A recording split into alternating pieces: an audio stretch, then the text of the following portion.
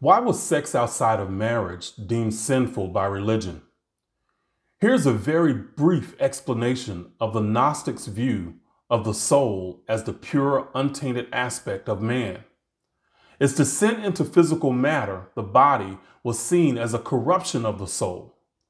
The true self, as the soul, was saved when liberated from the body.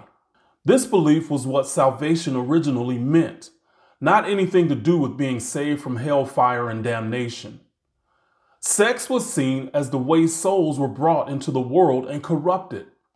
Anytime a child was born, it became viewed as a soul being trapped. Through the curse of Adam and Eve, sin entered into the world and was transmitted to every child that was born. This led to the logical conclusion that by abstaining from sex and not having children, one could save souls from being born into sin and corruption. If you view sex outside of marriage as a sin, then you've embraced the spirituality of psychologically dysfunctional men. You are powerful beyond belief.